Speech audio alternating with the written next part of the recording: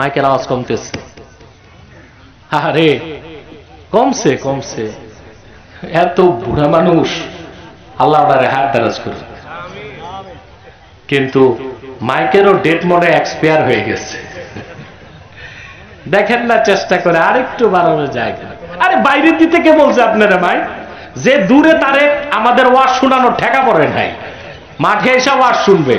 আপনি সব হর্নগুলো মাঠে দেন। না না, কেন কম দিতে বলবে? আওয়াজ লাগবে তো ভিতরে। এই যে আওয়াজ বাড়তেছে, আরেকটু বাড়ান। আরেকটু বাড়ান আরেকটু বাড়ান। আরেকটু বাড়ান। দুই মাইল দূরে ওয়াজ শোনাতে হবে আমাদের মাইক দিয়ে, এটা কি দরকার? যার ওয়াজ শোনা দরকার, সে মাঠে আসুক। ঠিক কিনা? বরং দুই মাইল দূরে মাইক দিবেন, বাচ্চারা যদি ঘুমায়, তার তাদের ঘুমে ক্ষতি হবে।